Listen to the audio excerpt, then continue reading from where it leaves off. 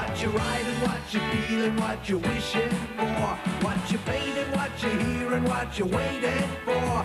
What you know and what you won't, what you don't.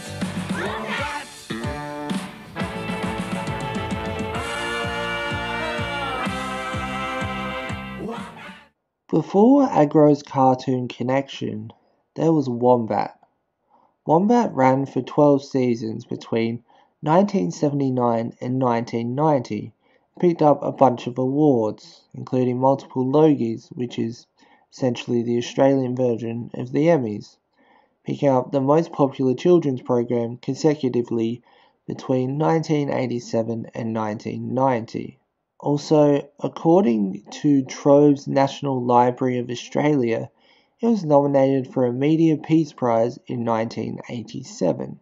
According to the show's IMDb and Wikipedia, it also won a United Nations Media Peace Award in 1988, although this isn't confirmable. The records for United Nations Media Peace Awards in Australia, at least, only go back to 2000.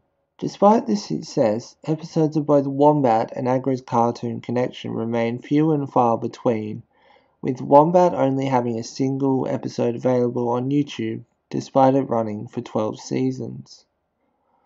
Wombat, unlike Cartoon Connection, was a kids show covering many different topics, airing on Channel 7 on weekday afternoons and later on the weekends.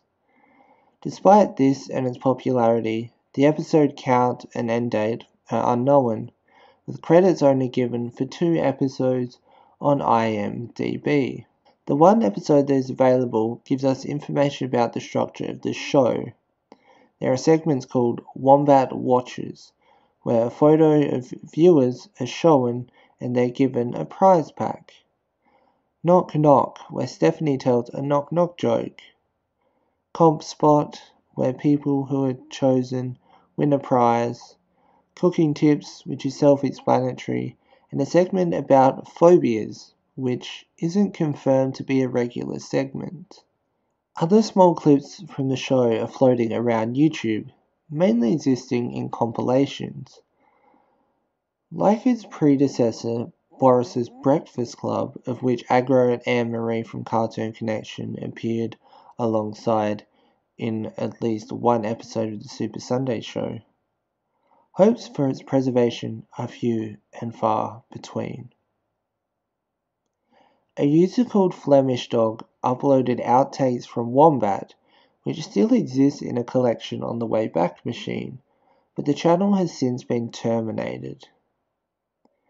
It was common practice during this time for television stations to reuse videotapes to cut back on costs, or sometimes just destroy videotapes altogether to clear out space. Because of this, the likelihood of finding any more episodes is very high, as the only way you'd be likely to find episodes is through old personal VHS tapes, as there were never any physical releases of any kind.